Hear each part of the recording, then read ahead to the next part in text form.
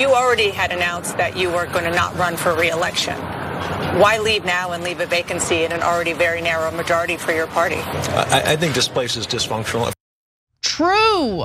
In a surprise move, Republican Congressman Ken Buck announced that he will be leaving Congress sooner than expected, and he's officially stepping down from his congressional seat by the end of next week. Now, Buck had previously announced that he would not seek reelection, but he was previously expected to finish his term.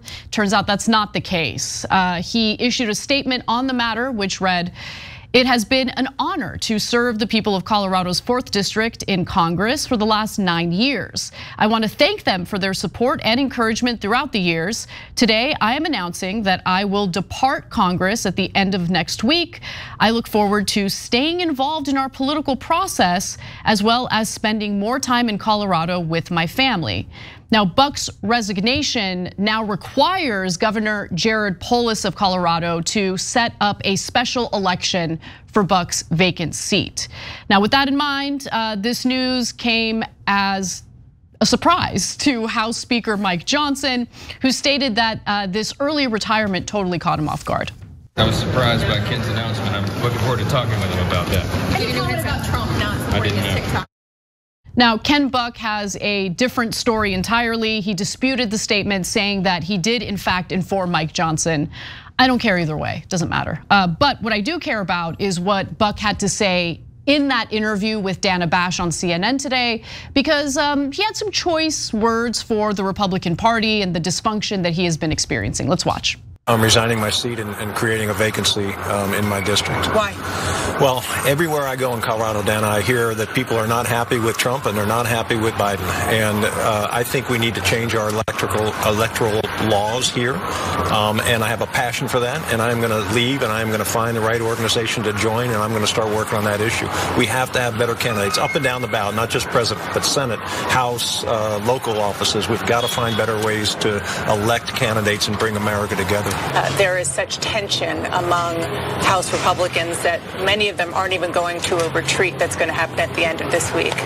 Is is that tension part of why you're leaving so abruptly? I, I think this place is dysfunctional. For example, I am the, the number third ranking member of the Judiciary Committee. I haven't even asked my questions yet. 40, 50 people have gone before me. But that that could be personal. With, with well, it, it could be personal, but but it, but a lot of this is personal. And that's the problem. Instead of having decorum, instead of uh, uh, operating in a professional manner, this place has just evolved into this bickering and, and nonsense, and not not really doing the job for the American people.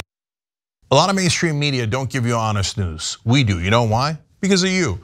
Paid membership on YouTube makes all the difference. Hit the join button below, and you become the hero that sustains us. Now, Buck was one of the Republicans who voted against Kevin McCarthy. In fact, voted in favor of ousting McCarthy.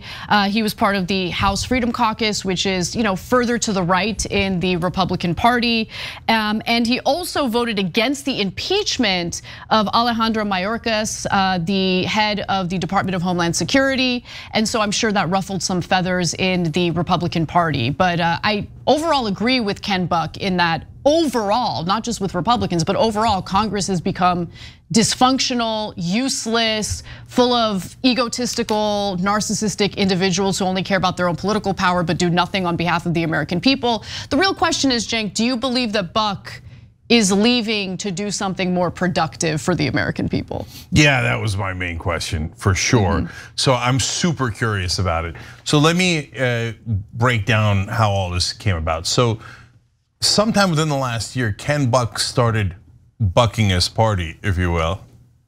Okay, so, and I was like, oh, that's curious. They almost never step out of line. I mean, there's two different groups. There's like the, the crazed right wing, but that's more populist and sometimes genuinely populist, most of the time not.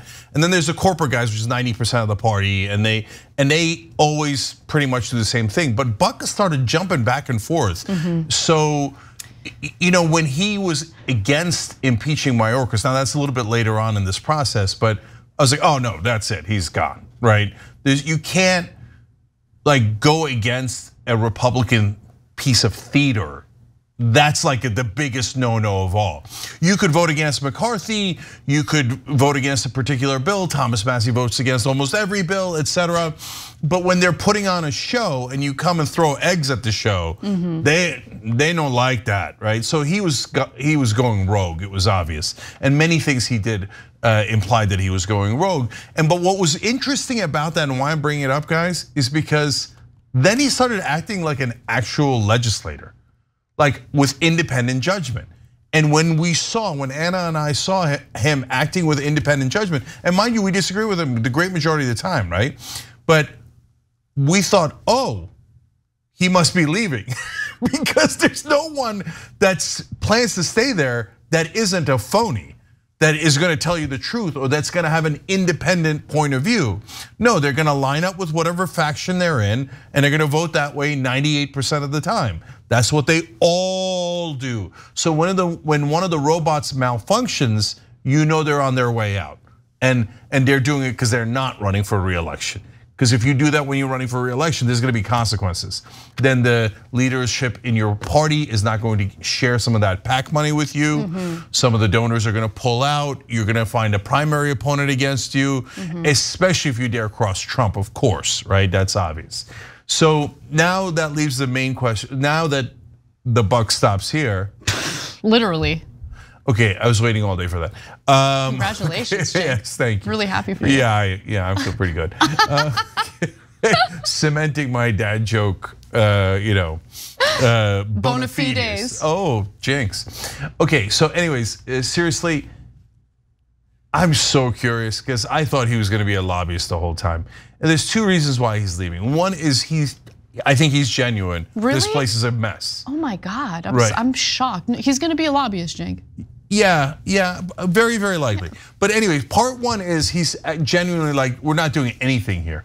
Like I came here to give tax cuts to the rich and cut your social security and they won't even let me do that. Well, I mean, he did vote for Trump's tax cuts for the rich in 2017. Yeah, but that was a long time ago, man. He has he's so hungry, he's so thirsty, he hasn't voted for tax cuts for the rich in such a long time. So my point is that the Republicans weren't going to do anything good anyway. But now they're doing nothing, nothing, nothing. It's just like children throwing food at each other. And so all the grown-ups want to leave. In fact, as Ana was going to tell you in a sec, uh, over 40 members of the House are leaving. They're like, this is this is bananas.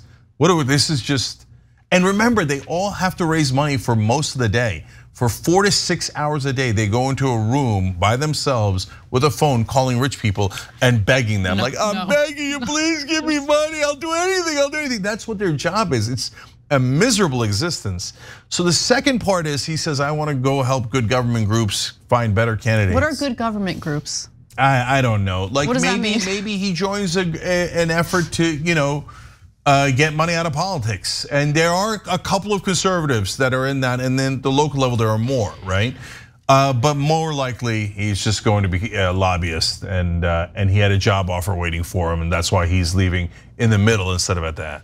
So we'll see how it all plays out, uh, or we won't. I don't know. We'll see if uh, there's any reporting on what uh, becomes of Ken Buck. But overall, I do agree with him in regard to how dysfunctional Congress is, and that has translated to incredibly low approval ratings for Congress because they're not carrying out any legislation that improves the lives of ordinary people.